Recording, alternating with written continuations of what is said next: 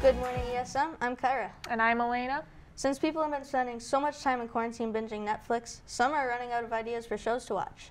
After news and announcements, we'll talk about some shows you might not have seen, but you're guaranteed to enjoy. A 13 year old boy broke into Cosmopolitan Salon on Erie Boulevard on Sunday. The boy, whose name was not released, was charged with third degree burglary, a felony, criminal mischief, and attempted larceny. The owner of the spa saw the boy break in and called 911. The teen ran away but was later caught by police. He is released on an appearance ticket.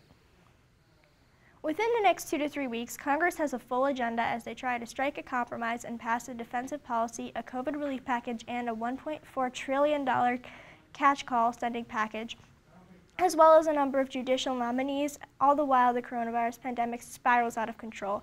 December 11, 2020, however, is the date that lawmakers are keeping their eye on because that's the day that the current budget will run out. If a new budget is not passed by then, we will have another government shutdown, causing many programs to come to a screeching halt when they are needed the most. Please stand for the Pledge of Allegiance.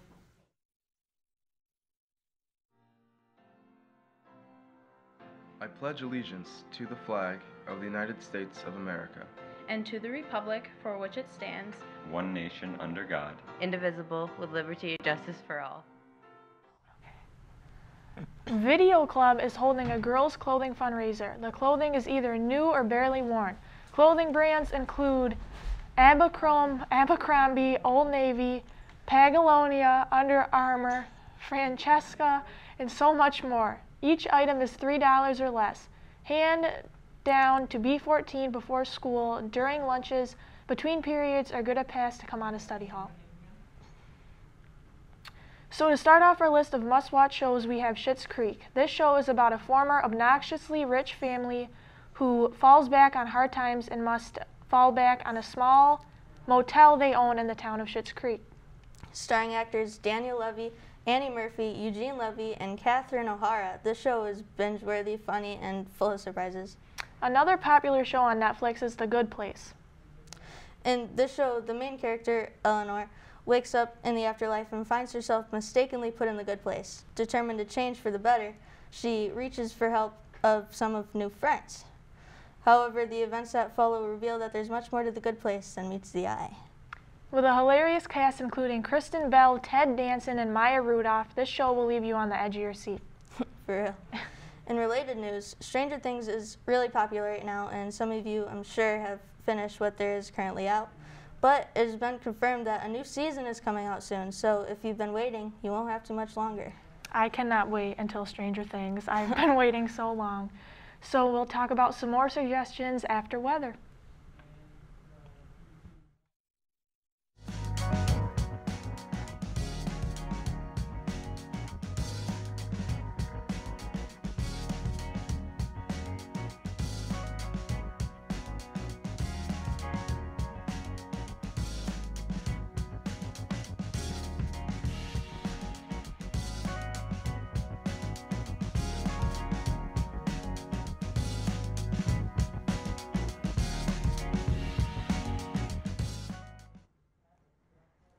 We're starting December today with some scattered rain showers that could mix with snow in the afternoon to create a slushy coating.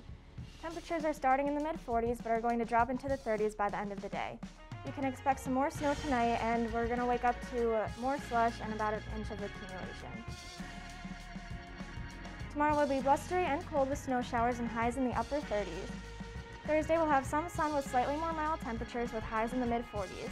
Friday has a chance of scattered rain and snow showers developing in the afternoon and a high in the mid 40s. The mildly cold temperatures are going to continue into this weekend with highs in the low 40s and a chance of lake effect snow and rain beginning Saturday and carrying over into Sunday. Monday looks to be a little bit colder with more of that lake effect snow and highs in the mid 30s. I'm Allie with your weather.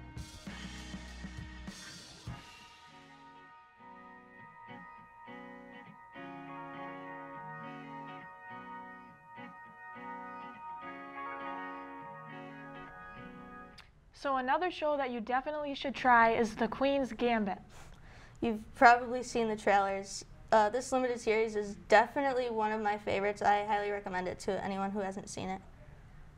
With an amazing performance by actors such as Anya Taylor, Anya Taylor Joy, Bill Camp and Moses Ingram, the show is both suspenseful and thrilling. Set in the 1960s, the series follows orphan Beth Harmon as she struggles through loss and hardship to achieve her goal to become the greatest chess player in the world. Last on our list, but definitely not least, is The New Girl. This show follows the hilarious adventures of Jess after moving into a loft with her best friend, along with three guys, as they form an unlikely family. Since there are seven long seasons, New Girl is definitely a show that can take your mind off the pandemic with some comic relief. The casting is also perfect, starring Jake Johnson, Zooey Deschanel, Max Greenfield, and Lamorne Morris. Great ensemble for sure. Let's head over to sports.